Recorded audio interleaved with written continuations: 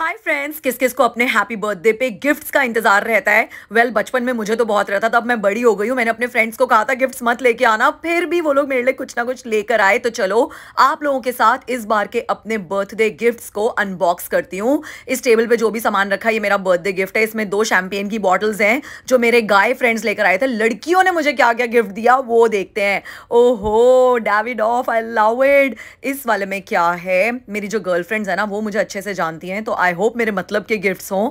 अरे वाह, इतना बड़ा eye shadow palette love it the third one Zara में से क्या निकला? पॉकेट परफ्यूम ये इस वाले जारा के बैग में क्या है? ओह wow such a lovely green shirt and this one Marks and Spencers का ड्रेस लव इट और ये क्या है? Some more makeup products lipsticks and eyeliner wow love it thank you girls birthday खत्म, पैसा हजम। मज़ा आया तो like share subscribe okay bye love you all